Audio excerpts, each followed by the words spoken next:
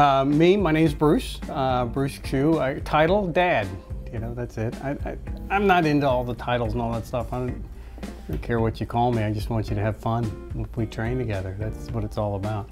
I was born in MacDill Air Force Base in Tampa and uh, only lived there 11 months. Then Dad got shipped to Europe and from there to DC, then to there to Nebraska, then to Maryland, then to overseas to Hong Kong, and then back to Tampa, then back to DC, so all over. But um, I was born not too far from where I'm at right now.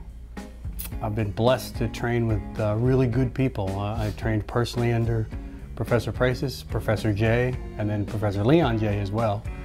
And Professor always said the most important thing is they should be happy, right? Um, he once said to me, he says, Bruce, you teach too much in the seminars. The seminars should make them have fun. If they're not smiling, then it's not good. So that's the whole thing about it. So yeah, titles, I don't care what you call me, just have fun. That's, that's what I try to do whenever I teach. And then I've been very blessed that, that my son decided to do it. I didn't ask him to, he, he just did it on his own. And he's gotten real good. So tell him who you are. As he said, I'm his son. I'm, uh, that's, I guess, my title then. I have to be humble because if not, he'll hit me. But um, I um, his name is Chris. He didn't start with that. I didn't need. My name isn't important. It's just. no, yeah, I guess my name is Chris, is what they've told me my whole life. Um, I've been doing martial arts kind of on and off since I was born. I mean, I obviously have no memory of this, but when I was two, he always told me that my patty cake wasn't the standard one. My patty cake was Sinawali forms and hand trapping and stuff like that. Yeah, empty hand Sinawali a lot.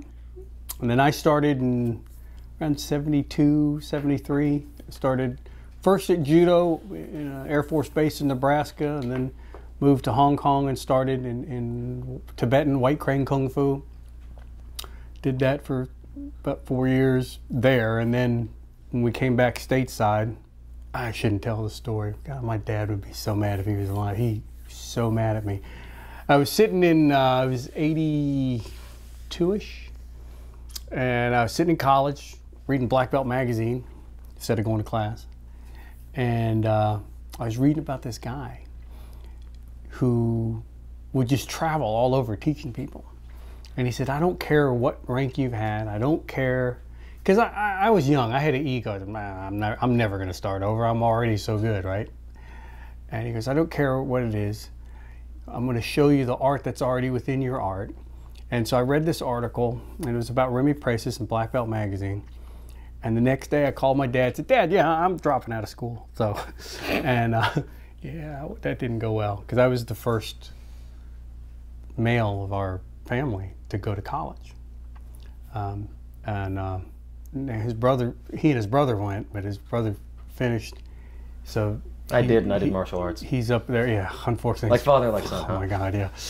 Uh, anyway, so I moved to California to go because I looked in the back of Black Belt magazine back then. It had all the addresses of the schools, and it said um, American Arnis Association, which was two of Remy's students, Mike Rapogel and Jeff Arnold, and but it was listed as Remy's school. So I didn't know that he didn't have a school. Much later, I found out.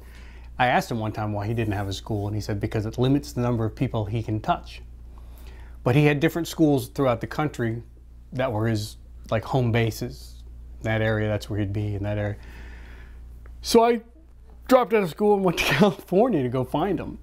And then at that time, my kung fu teacher had actually moved from China to Los Angeles. So by the day I worked at a Chinese restaurant, I would wake up and do kung fu with him and uh, work at the restaurant. And then when I got off, I would drive two hours to North Hollywood to go train Arnis and then come back to the restaurant and I slept on two chairs that were full uh, out. Then it would start all over again. But the training was great.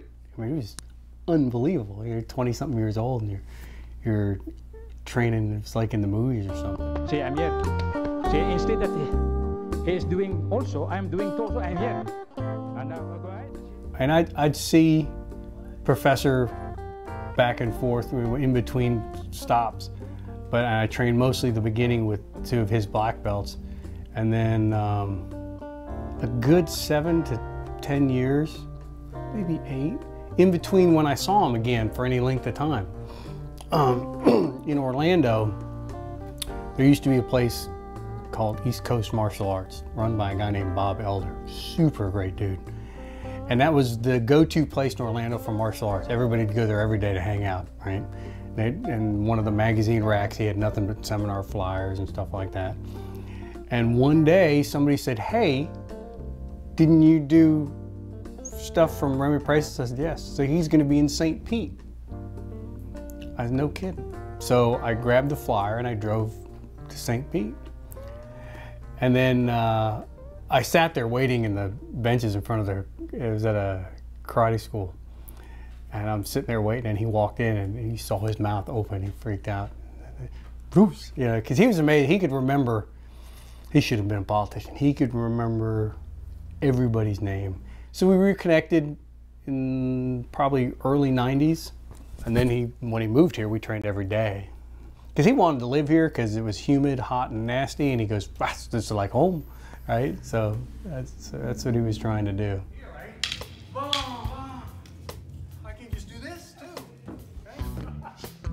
Not the art. I knew nothing about the art. Uh, honestly, I'm the dumbest guy there is that comes to FMA. Because for the longest time, it's only till recently he started getting me out. I only knew what Remy Presas taught me. I didn't know the names of stuff. I didn't know the names of the different systems. I mean, people gave me books to read because I didn't under, they'd start talking about this, this, and I was watching somebody's black belt test. I was invited to sit on it and I didn't know what they were talking about because they'd give all these names. I, don't know. Because he wouldn't call them by name. He'd hit me and say, now you do that. Okay, I didn't know what it's called. So what attracted me wasn't the style, it was the man.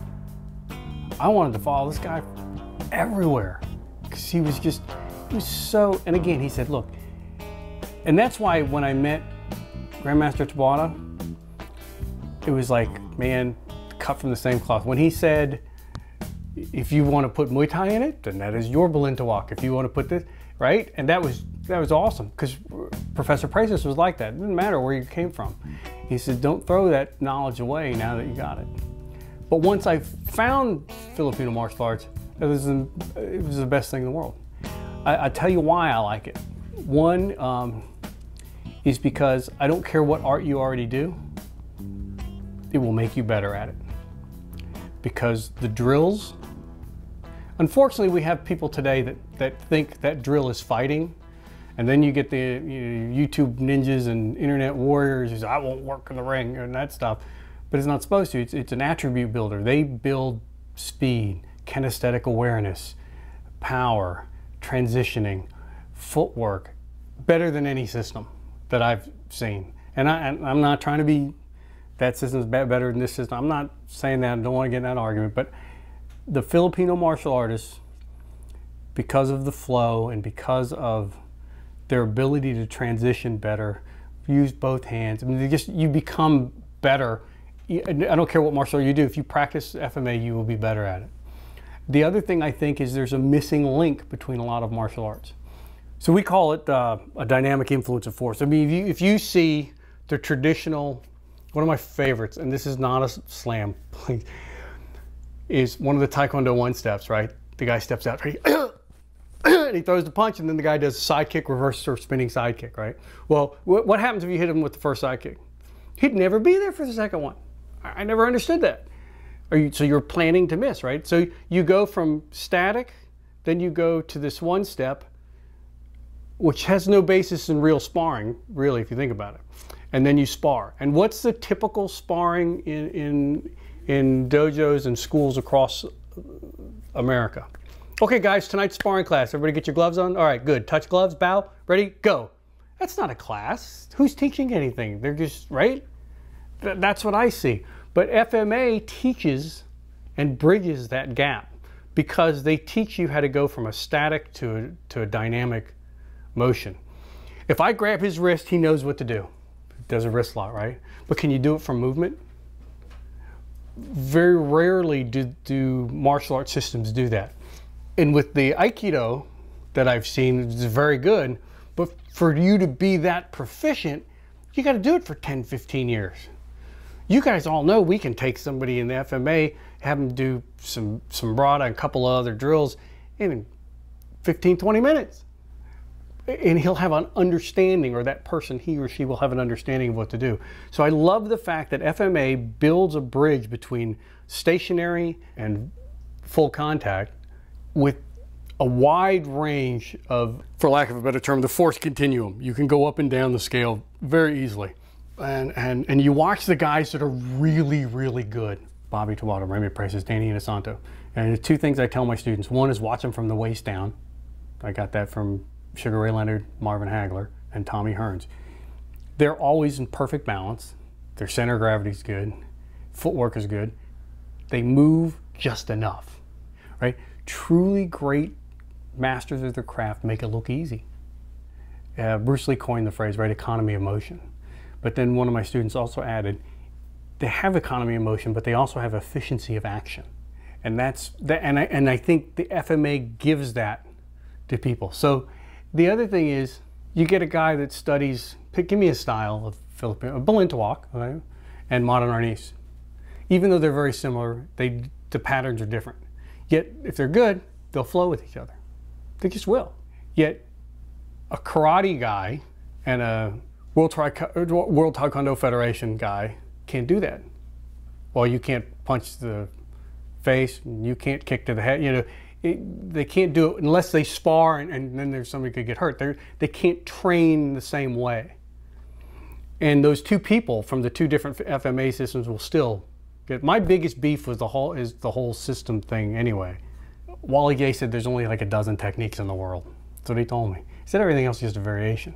You know, then people have argued with me, wow, but this system holds the punch this way, this one holds the punch this way, and this one holds it this way, so they're different. Not really, you know, just, uh, I, eh, there's only so many ways to hit somebody with a stick, right? I mean, you really have what? Diagonal, diagonal, horizontal, horizontal, straight and a poke. It's really it's just how you combine that. And I think the FMA, I get really excited when I talk about it because I really love it. Now that I've immersed myself in it, the ability to flow, unlike a lot of the other martial arts. This is what makes the throw happen. Everybody look at this hand. This doesn't do it. I was a teacher first. I taught kickboxing and uh, what we called American karate, which was basically boxing from the waist up, and we taught through science and not traditionally. An example is in, in, in I'm going to get hate mail now probably, but so traditional kung fu, I stood in a horse stance and punch like this, right? This is low, middle, high, right? Well, a low punch, when you punch this way, now, can you lift more weight this way or this way? This way, correct? Because the bicep functions better when the palm faces it. That's science. That's why a boxer punches to the body this way. If you look in the old John L. Sullivan days of boxing, how did they stand? Look familiar? It evolved to here through science. We know that through biomechanics and physiology, why does a quarterback throw a ball from here better? Because the implement you're using has to be closest to the muscle group that originates the action. Science. So that's how we taught the karate. So I was a teacher first, and then I fell in love with the FMA, and then professor told me to teach. That's why I taught. I was uh, teaching at one of his camps in Atlanta, and I said, Professor, I don't think I can do it. He says, why? He says, because I'm going out there and there's all these people that are higher ranked than me. I don't want to screw up he said, I teach them to do, I teach you to teach. So I did, and know, then, then it started, and then he would arrange seminars for me and stuff like that. So that I mean, if it wasn't for him, I wouldn't teach. And then, and then the other person that was very important to me in doing that is was Wally Jay. He he encouraged me to teach a lot. Then after Professor passed away, I didn't do it anymore. I stopped. And then his Wally's son Leon, and then my good friend Jack Hogan told me they wouldn't let me stop because I wasn't going to do it anymore uh, it's still, I think about them a lot. I tell you, with, with that seminar with Grandmaster Taboada brought back a lot of memories. That was, that was great.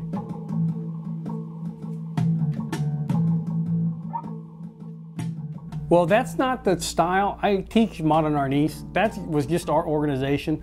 And again, I, I, I can't tell you how much I don't want to do this. Right? But after Professor Presas died, people called, Bruce, what do we do? I said, oh, just the same damn thing you did yesterday. Well, I don't care. But we, well, we had, what do we do with that organization? I said, fine. Do whatever you did yesterday. Because they had all these splinter groups. All everybody said they're the true heir. They're the... So, but Jack told me, says you got to have an organization so that people know what to do. I said, all right, fine. So that was just that was shortly after Professor passed. I, I it was probably around 2000, 2001. So right about that time, after he passed, I, I went to California to go stay with Leon for about I don't even remember how long. Just because I was going through some rough spots in my life. Uh, my father just passed away, my godfather just passed away, and my teacher just passed away. So yeah, I just wanted to to be away. So Leon said, "Hey, look, I'm gonna go see Pops in, in California. Why don't you come out and hang with us for a while?" So I said, "Okay." So I go out to California. I'll, never forget this. So they come pick me up. Professor Jay. Wally is driving, and then Leon is is in the back seat in his van, and Mrs. Jay. Bernice is in the front seat. Open the door, put in my luggage, and she looks at me, and if looks could kill, I'd have had one right between the eyes. He goes, "Who are you, and why are you here?" And I'll never forget it because Leon goes, "Mom," and he goes, "No, I'm serious. Why are you here?" I said, "Ma'am, I don't understand." He says well, this week alone, we've had the true successor to Modern Arnis, the heir of Modern Arnis, the successor and heir of Modern Arnis, and the heir apparent to Modern Arnis, all trying to get Wally's endorsement. Why are you here? I said, ma'am, I don't know nothing about those people. I don't want nothing to do with those people. I'm just here to have fun with Leon and Norm. And then Wally goes, Bernice, this is Remy's guy. Be quiet. and, and, and um, but yeah, because right after he died, everybody was trying to get Wally's endorsement uh, after because they did all the seminars together, and and I didn't. I didn't. Like I said, I wasn't didn't do it anymore. I was just I was just hanging out. The last two days of the trip, but Leon said, "Look, Pop's called. He wants you to teach Friday night." I think Friday night. I said, "What do you mean? Just at the home dojo?" "What do you mean?" Says, "Come teach at the home dojo." "Leon, I don't have. I bring my crap. I don't have any. It doesn't matter." So when Professor Wally Jay, the head of Small Circle Jiu-Jitsu, says, I want you to teach a class at his school, I'm going to go teach a class at his school.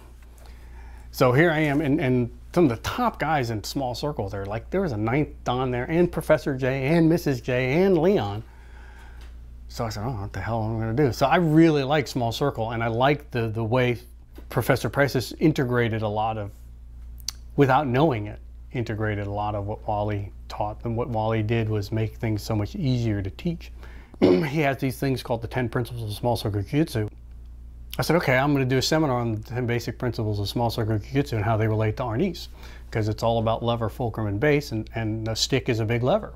So I taught this class there, and, and it was pretty cool because, you know, this is the same floor that Bruce Lee sweat on, and bled on, and trained on uh, Professor Jay. So that, that's probably one of the highlights of my martial arts career is teaching there. That was that was pretty cool. Moving on, but my center's still here. For me, it's a student. Teaching's easy. For me, I mean, I've been I that's I believe that that's my gift. But being a student was harder for me because sometimes my brain doesn't track the same way other people's do. Uh, we're a mixture of auditory, kinesthetic, uh, kinesthetic and um, visual learners. All of us are a combination of those three. Um, some are more kinesthetic, some are more visual. Like I know guys, if you give them a manual, they can read it and do it. I'm not one of those guys. I can't. You got to walk me through it, and then I'm still gonna have problems. Some guys you can hear, they you can give them directions, fold A into B, then fold D into C, and they'll do it. I can't even figure out what D is. So yeah, I definitely being a student for me. And, and I also think being a teacher is more rewarding because as a teacher, I'm still a student. And I know that's cliche, but I try to tell people if I show you something at a seminar on a Saturday, you got to teach it to two people by Tuesday because it really reinforces your learning and it helps you see what things you need to do to correct it. Because people are all different sizes you know six foot. I have one student's like six five. He does things different than I do because of the, the, the, leverage and the, the way he is.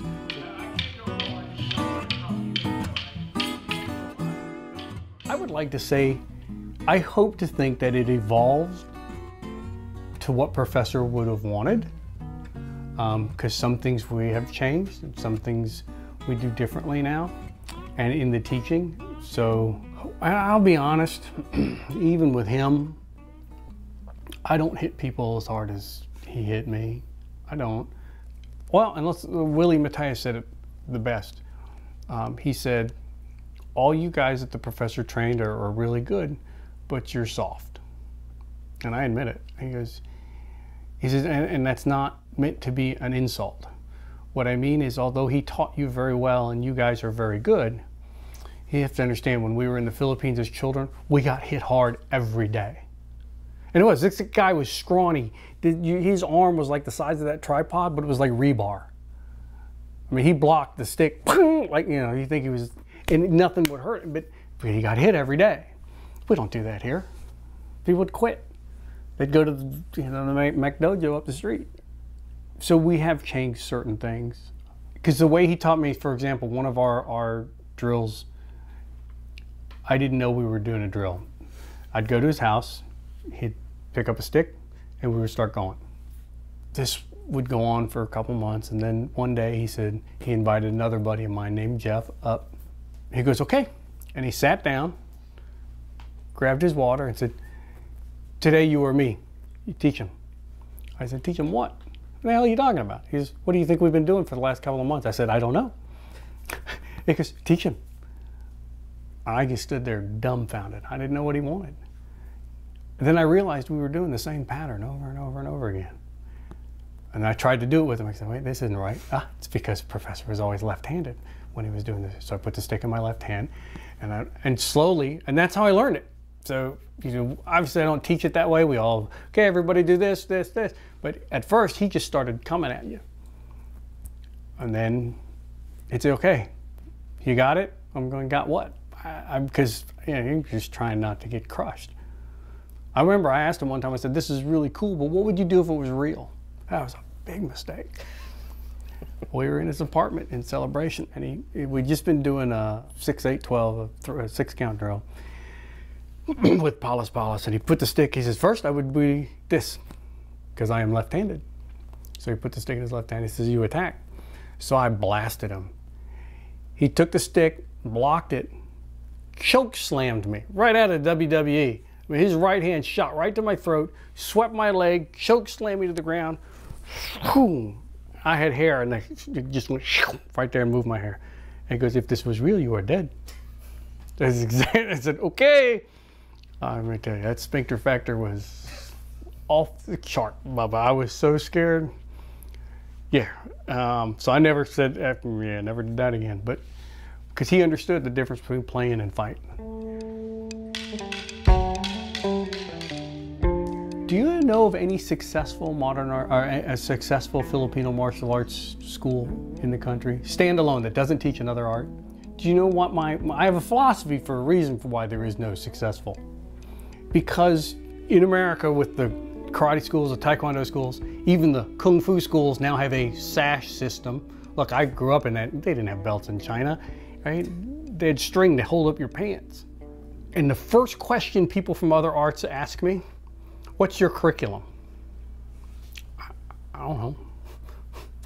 And that's what I've noticed with, because really the way the Filipino martial arts seems to be when I've worked with people is they'll show you something, you might not see that for a year. It isn't, okay, by in your first 39 lessons, you have to do this, this, this, and this. Like in a Taekwondo school, well, by lesson four, you know that at 13 degrees, your toe needs to be pointed in this stance. We don't do any of that stuff because it's just flowing. And the teacher today may go, you know what? Ah, we're not going to do that. I thought of something different on the way in. And they just do it. And you have fun. It's great. But if you notice, there is no this to get to this, this to do this, and this to do that. And by this time, you're going to do this. And on this day, we're going to do this. It's just It's more just flowing, which I think is better anyway. Everybody has to learn the basics this way first. Uh, I'm real big on basics, correct fundamentals, footwork, teaching the pivot. Three things have to happen for the upper body to strike efficiently. I don't care if it's a baseball, tennis ball, or someone's head. Shift, torque, and follow through. Has to happen, right? some people forget that. So I think fundamentals are so we try to we try to stick to that. But yeah, that's that's the difference.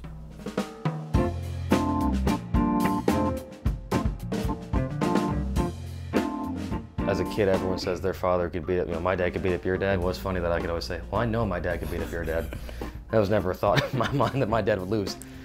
But um, I don't want to say that I necessarily grew up in, well, I mean, my parents, they split when I was very little, so I didn't really get to train with them as much as I would have liked to, I think. So I was five when when I got divorced from his mother. I was five, you weren't. Oh yeah, yeah, yeah, right. Sorry. Yeah, that would have been. You know what I mean. He was five. So he'd done a lot of the trapping hand stuff when he was little and the patty cake, but five I left. Um, so And then when I was around nine or 10, I really wanted to get into martial arts. I mean, I, I, had worn his shirts, I'd worn small circle shirts throughout my childhood, so I'd always known these things existed, but I didn't know much about them. You know, I thought the best martial artists in the world were Bruce Lee and my dad. Those, those were the only two I knew about. So then I wanted to do martial arts, and the two options in my area was a very well renowned, renowned kung fu school, Wah Lum Temple, and a taekwondo school. And my mom asked him, "What's what do you think?" I did taekwondo for 10 years, uh, first five, and then I got my black belt, and I was a teacher there. I started teaching and I was like 12 or 13, essentially. Was teaching all throughout that time there, and then when I got my first black belt is when he actually said, "All right, Chris, now I'll take you to seminars." He didn't really train me officially until I was 15, and you know we talked about it much later because he's like, and I finally understood it because at the time I was like, "Well, why didn't my dad teach me first? Why didn't I learn stick stuff in the very beginning?" And the respectful answer is that he didn't. Well, two reasons. One, he didn't want me to completely ignore what my sensei was teaching me in the taekwondo school and just completely throw it out the, in the garbage. But two, because I didn't know what I was doing. The fundamentals were terrible because I was brand new. And my father knew he could teach me best from a place of understanding that I already had. If my footing was wrong, he would say, All right, do it like a front stance, but turn it 45 degrees. Oh, okay. Do it like a horse stance, but shorten it by this amount and do it this way. Oh, okay. So, I mean, I didn't really think of this as a future necessarily. I thought it was just fun and God, I don't want it to be his future. either. I want to get a real job, be a doctor or a lawyer. No. But but in all fairness, we're not the type of family that says, "Hey, Dad, let's go play catch in the yard." That, is, we, that was stupid for us. We hated baseball. we're the whole, "Hey, let's get gloves on and see what we can do." You know, he'd whoop me something fierce every now and again, or I'd grab a stick and I'd get thought I was a little faster, and he'd hit me in the head with a stick. That's that was that was how I learned. I didn't want to force martial arts on him, so I never talked about him doing martial arts. And I didn't. I wanted him to. I strongly believe, I don't care what art you are, get a black belt in it. At least you have some understanding of, because that's when you really can learn. I was never afraid of getting hit by a stick. Well, you know, he was a natural at it, I, and I'm, I'm not kidding. He would, we would go when he was four. We'd go to the, the East Coast Martial Arts Store. Like I said, everybody hung out there. For some reason, he would immediately go to the where the umbrella stand full of rattan sticks are. I'll never forget the manager of the store, a guy named Carl, great kung fu guy. Um, Wing Chun. He he, uh, he grabbed a stick and Carl goes, "Oh, try to be like your dad." Wham! And he smashes him on the hand. Just started. So, Carl being Carl, you know those big Taekwondo gear bags. He put him in the bag so only his head was out, and then hung him on the ceiling. off the backhand strike or the entry three version of the MG3. Shoot the butt of my Not to sound like a broken record, but I also know teaching is something that I'm blessed with. Like, I've had my father as a great example of teaching martial arts, but I've also worked in ministry work where I've been teaching other people, I've been teaching kids. I, I've did the math this recently. I've been teaching more than half my life. I'm 25 now. I started teaching when I was 12. I've been teaching for, you know, a long time for a 25 year old is not that long, but for me, it's a long time because it's all I've really done. That's been most of my careers have been whether teaching karate, teaching children's fitness, teaching martial arts, volunteering in ministry work. Like I've been teaching and surrounding myself with great teachers because I've always believed that. I think it's one of the, the perks of martial arts and what a lot of people don't understand is why I tell parents to definitely put their kids because they ask what time when should my kid do martial arts as soon as they're able to because it humbles me naturally. I was never that 16 year old who thought I was invincible. I always knew I could get my ass kicked because I got it kicked pretty. I was always in the adult sparring class, getting beat up by all the adults. So I always learned relatively quick that if I don't know something, I should ask someone who's further down the line than me. So when it was a martial arts question, or when I had a a few martial arts political situations happened to me personally, first person I called was him, because I know he's been around that scene a whole lot more. And said, "Dad, first question I asked was, well, I asked him, I told him the whole story, with as much non-bias as I could, and I'd say, Dad, what did I do wrong? What did he do wrong? And sometimes it was me.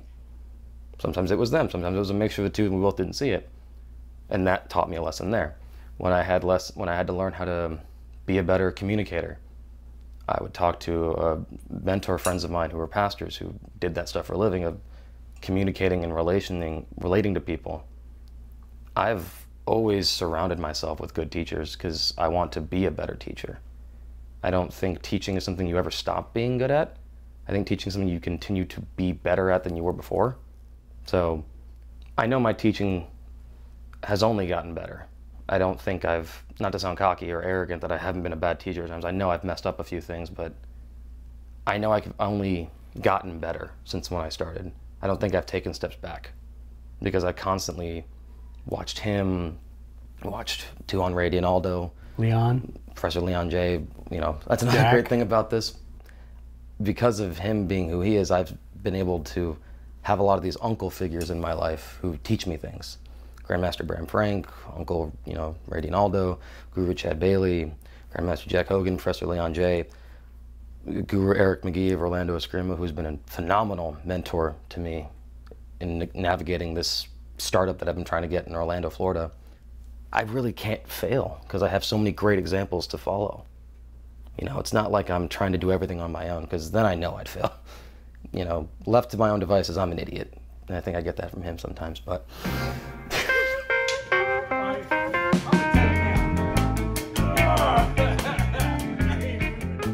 I, tell you another thing about the FMA that's so different. Other martial arts that I've been involved with. I remember I was competing at the NASKA tournament and a guy came up to me and says, how come you don't show respect? I said, what are you talking about? He says, you don't bow to my student. I said, what do you mean? He, he points to his patch. He says, this is real Chinese Kung Fu. Why do you not bow? I said, look at his face. He's a real Chinese man. but you don't see that in FMA. not as much. Yeah, yeah, yeah. But generally, everybody welcomes you. Look, we're two of us go down to the seminar. Hey, you'd think we've been friends with June for 25 years? First thing he did was give us a hug. That's, I just met him. I mean, it was amazing how, how friendly people were down there. It was great.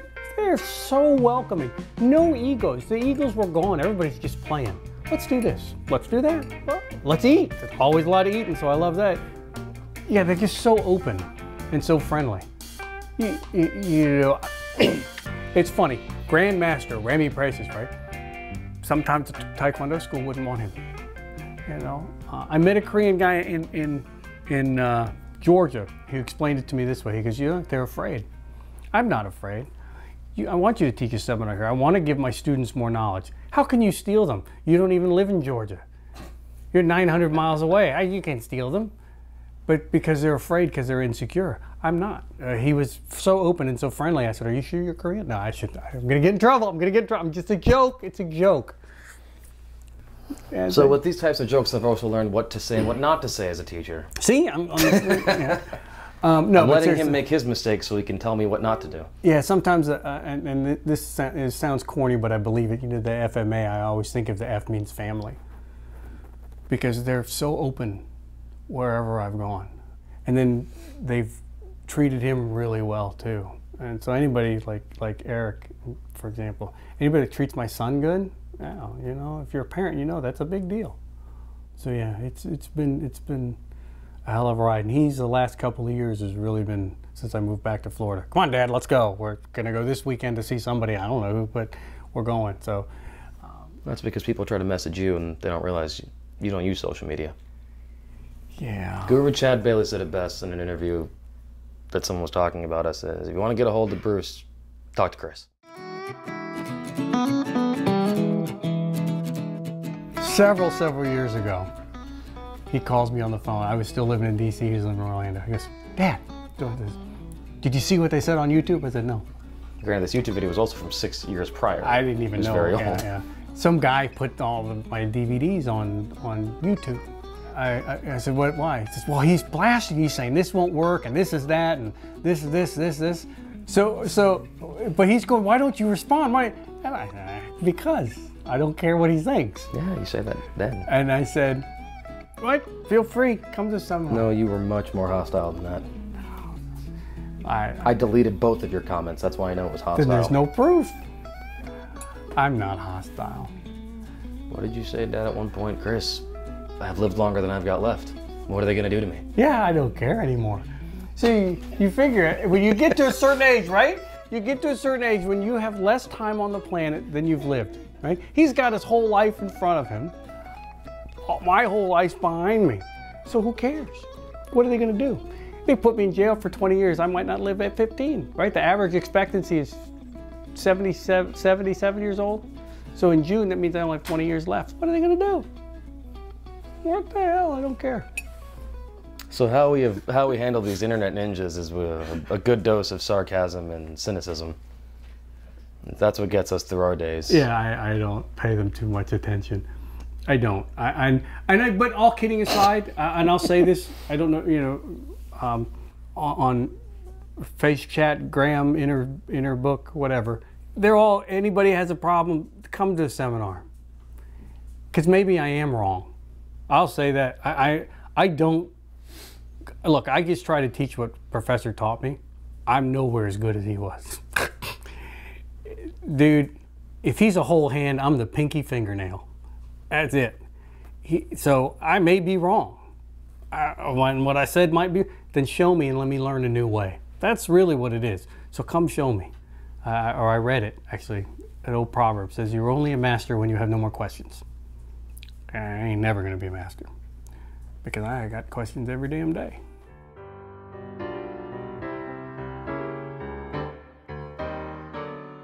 I have none. I just like to go play and train. And the more I hang out with everybody else, like Chad and Bram and, and Ray, I just like having fun. But uh, I, I remember what Professor said, you know, it limits the number of people I can touch. So the more people I can show his stuff to, that's it. Just make the family grow. If, if someone can take one little, it's like sprinkles on your ice cream, right? If I can just give them one sprinkle and it makes their stuff better, that's awesome. That's it.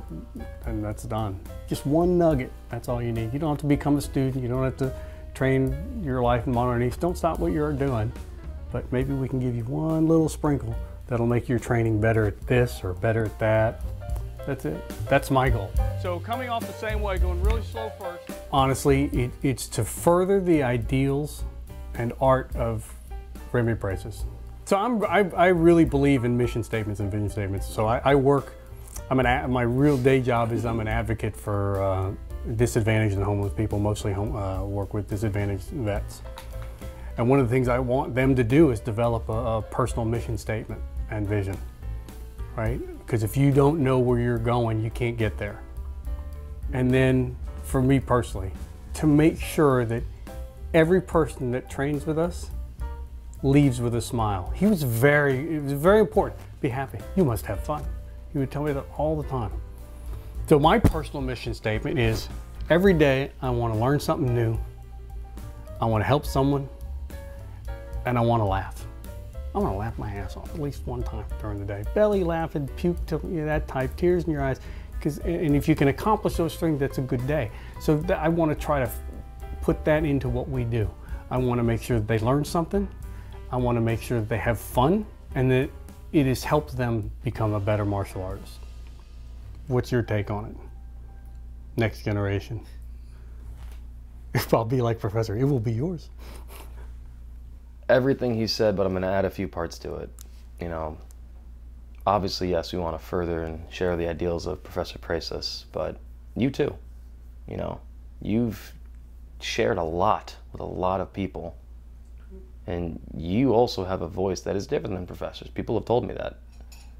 It's you know a lot. You guys say a lot of the same things, but you have a different way about it.